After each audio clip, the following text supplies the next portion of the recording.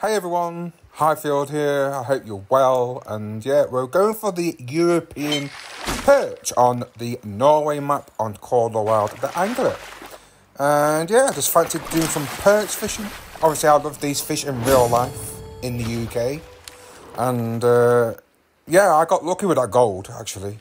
That was actually my second catch, and it was a gold. Because the first one was a silver, but I didn't put it in the video. Uh, but yeah, we've been, like I said, I've been catching these. I was using the size, I think it was size 9 with minnow. Well, know at the end of the video what I used for the setup. Uh, I'm surprising that the pike don't bite on the size 9 with minnow, because obviously pike like minnow, so must be a hook thing. I'm not sure, but you know, it keeps them away, believe it or not, and it works.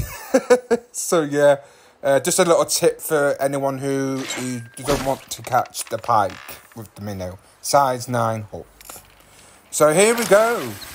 Moment of truth. Another diamond European perch. Look, it's massive, isn't it? I just, I love it.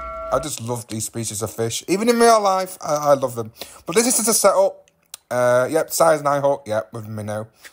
Uh, I thought so. And obviously, uh, what is the bait? Ballies. Yeah, I think you can use them as a thing.